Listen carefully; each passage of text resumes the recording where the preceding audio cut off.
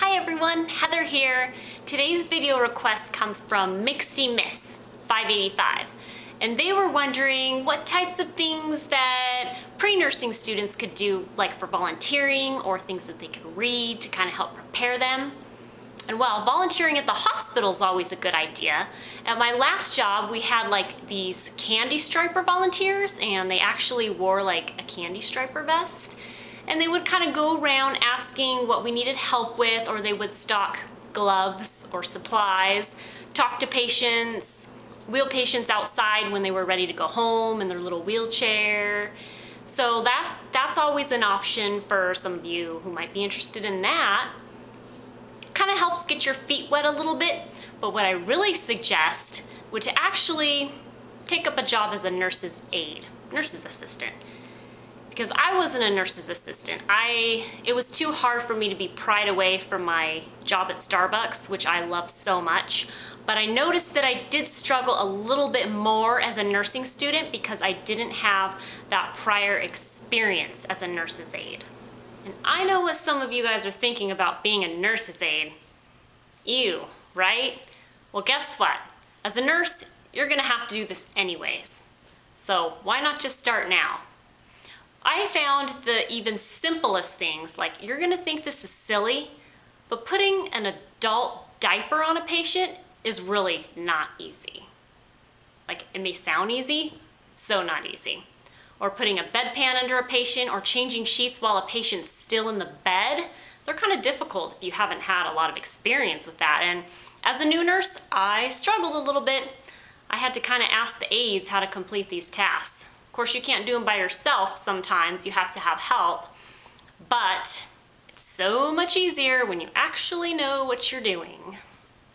One thing that amazes me about the CNAs is how quick they are. They just flip the patient over and change the bed and clean them all up within the blink of an eye. And here I am over here being all dainty and gentle and not wanting to break the patient. And that's just me.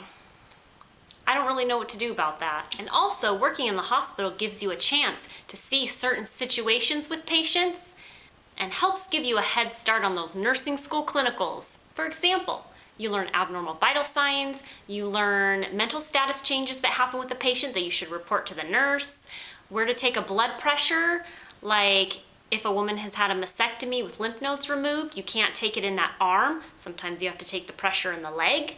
You learn how to feed patients with swallowing difficulties, transferring patients to chairs, turning every two hours to protect their skin and prevent bed sores, how to position them and make them comfortable with pillows, collecting urine specimens, and the list goes on, guys. You'll learn a lot. Another important issue is learning how to handle certain situations with patients and family members appropriately.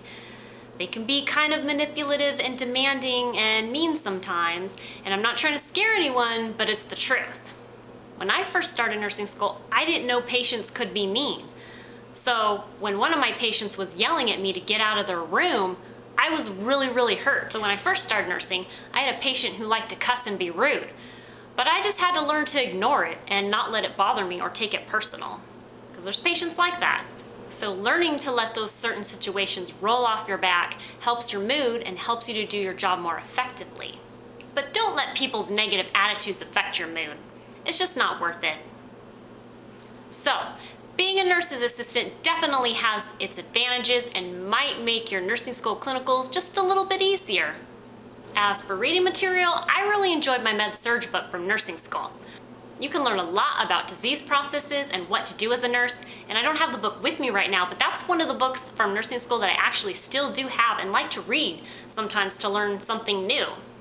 I'm sure everyone who's had that book has tried to diagnose themselves, like when they're sick, they look up their diagnosis or the diagnosis they think they have and they're trying to rule out all the symptoms that they don't have, like, oh good, I don't have that and I don't have that, so I must have this. And some of you know what I'm talking about, huh? Because I've done it too. Or you can just go to Barnes & Noble and find a nursing book like in the medical section. You can even get like a medical book if you want and just kind of read it and learn some new things or whatever may interest you. Well, that's it for today. Thanks for the video request and everyone have a great day, okay? Talk to you soon.